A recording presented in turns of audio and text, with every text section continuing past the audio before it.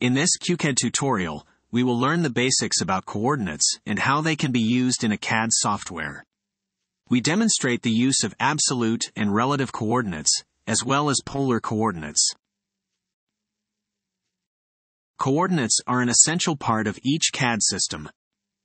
A set of coordinates is like a set of directions that defines exactly where a position in the drawing is located.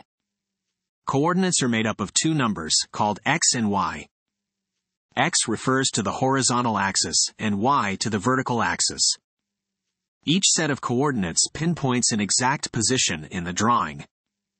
The coordinates of a position consist of the distances from the drawing origin in x and y direction. The drawing origin is indicated by the red crosshairs in the drawing window. The coordinates of the drawing origin are 0, 0.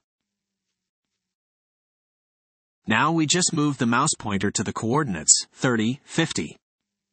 The distance from the origin to the mouse pointer in the direction of the x-axis is 30 drawing units, and the distance from the origin along the y-axis is 50. We can also see the coordinates of the current position of the mouse pointer in the status bar at the bottom left. The rulers at the top and left of the drawing area also show coordinates. We will now use the line tool to demonstrate how we can input coordinates. We start our line using the grid snap.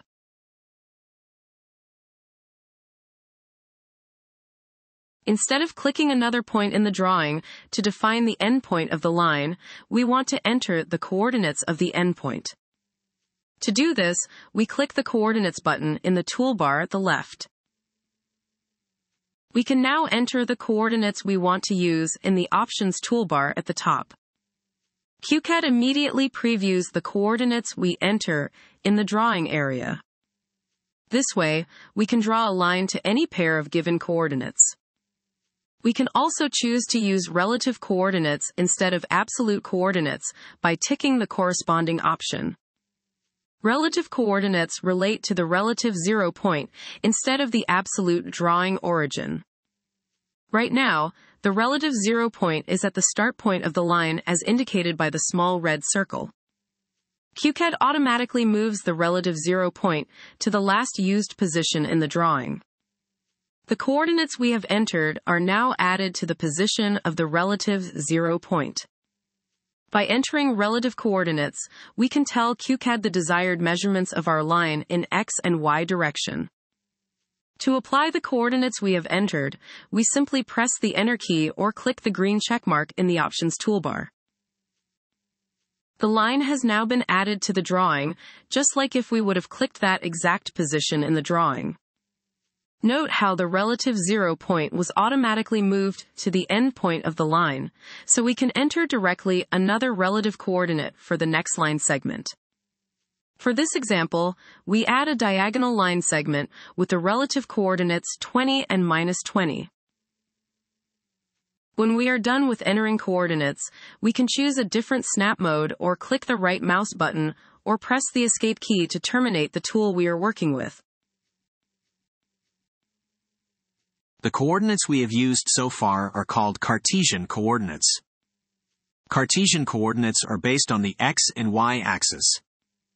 Instead of Cartesian coordinates, we can also enter polar coordinates.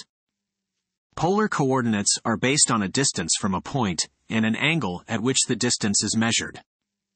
We start another line using the grid snap.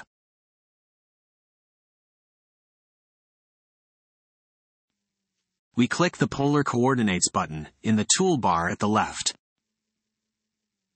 Instead of an x and a y value, QCAD now prompts us for a distance or radius and an angle in the Options toolbar.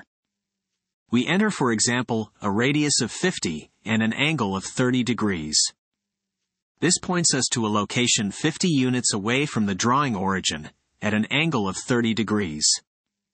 If we also activate relative coordinates, we can draw a line that is 50 units long at an angle of 30 degrees.